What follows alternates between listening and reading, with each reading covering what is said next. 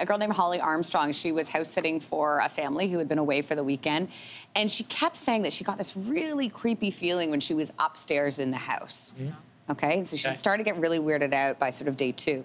She went upstairs finally and she was like, oh, why am I feeling this way? She opened one of the closet doors and saw this. Oh my god. Oh my god. Oh my god. Oh my. f- It's a doll. Yeah, but it, it's, Oh my it's god. moving Oh my in a god. Oh my really- god.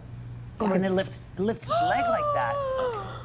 It 100% my knows that Oh she's my God, oh my there. What would oh you do? Well, I like, I I like, I think like, I like her instinct. Run out of the house and light it on fire. No, she didn't actually throw a match, as she clarified later, but she screamed, ran out of the house, and then contacted the owners to be like, What is uh, what is happening here? I don't know what's going on. What are your theories? What do we think? Well, I think it's a it's a doll that Yeah. somehow got turned on, but Oh, you do? But it's the li- the lifting of the leg that's so weird at the end. Well, that's because it's not a doll that has been turned on. It is a doll that is possessed Right. and going to kill her in her sleep. That's most likely. That's Yeah, that's most likely. that is a horror movie waiting to Do you think it could be like a downdraft of air coming from the attic? No. No. No. No. No. I'm just throwing That's it way out too there. logical. So, So you're yeah you're thinking it's more like Chucky.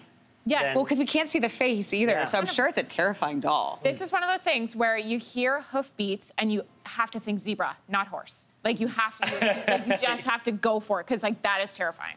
And see, this is what I'm saying. When you keep like a hammer or a pitchfork in your drawer beside you, Yeah. you can take it out, and then you're good to go. No, but No, if it's a possessed doll, Yeah. Don't you That- think the pitchfork is the key? no, no, you, you, magic can is the only thing that can stop magic. We'll see about that. Uh, This is really useful life advice. yeah, by the way. yeah. Magic. That's right. Thanks for watching. If you like this, be sure to subscribe here. And you can check out more Your Morning videos right here.